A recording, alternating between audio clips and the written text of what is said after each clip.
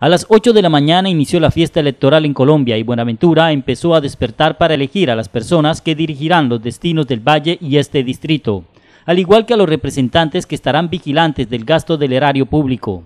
Se dio apertura y la mandataria de los bonaverenses manifestó la alegría que es empezar unas votaciones en paz y orden. Contentos, vemos ya fila en los diferentes puestos de votación, la gente madrugando a ejercer su derecho. Esa es la invitación a la que tenemos hoy, a vencer ese obsesionismo, a derrotar la indiferencia, a entender el poder que tenemos como ciudadanos para ejercer nuestro derecho a elegir. Así que bueno, esperamos que tengamos al terminar esta jornada un balance muy positivo los votantes que estaban en las filas desde antes que abrieran las puertas empezaron a ingresar. El sistema de biometría implantado por la registraduría surtió el efecto deseado, pues agilizó el ingreso a las mesas de votación. Los jurados también de manera juiciosa entregaban a los electores los diferentes tarjetones para que marcaran a su candidato preferido. La seguridad implantada desde la Secretaría de Gobierno también generó un ambiente de confianza en las personas que ejercieron su derecho al voto.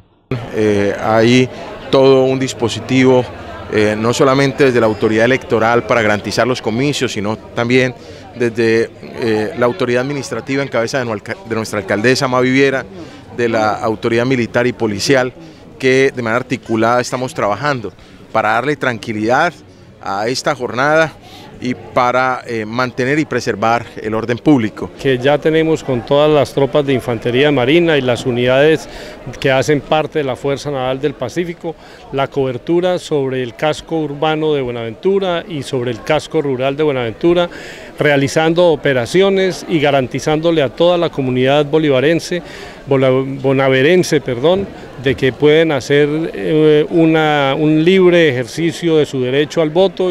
Todo marchó en completa calma, aunque existieron inconformidades por parte de los electores, sobre todo en el centro de votación del Instituto Técnico Gerardo Valencia Cano, dado a que en este sitio no existían tarjetones para candidatos a la CAL.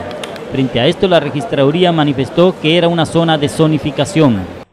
De otra parte, en el colegio Patricio Siemens se dio traumatismo al ingreso en el centro de votación. En la terminal de transporte hubo dificultades con la iluminación pero a pesar de todo esto, los electores ejercieron su derecho al voto.